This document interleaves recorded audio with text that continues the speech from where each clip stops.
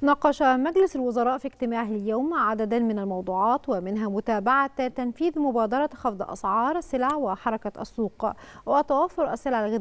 الغذائية وتنفيذ قرارات ضبط الأسواق وإصدار قرارات لدعم الاستثمار ومتابعة استكمال العمل بالمشروعات القومية المختلفة على مستوى محافظات الجمهورية. ومن بينها مشروعات المبادرة الرئاسية حياة كريمة لتطوير القرى والريف المصري. كما تابع المجلس ما تم بشأن الإجراءات التي يتم اتخاذها بناء على توجيهات الرئيس السيسي ومنها متابعة تنفيذ قرارات المجلس الأعلى للاستثمار وملفات الاستثمار والصناعة والتصدير والزراعة ومراقبة الأسواق وإتاحة الأراضي الصناعية للمستثمرين ومظلة الضمان الاجتماعي والملف الضريبي وملفات التطوير بقطاعات الدولة المختلفة من صحة ورياضة وتعليم ونقل وغيرها والإجراءات الخاصة برعاية محدود الدخل وتوفير احتياجات المواطنين بشكل نعم.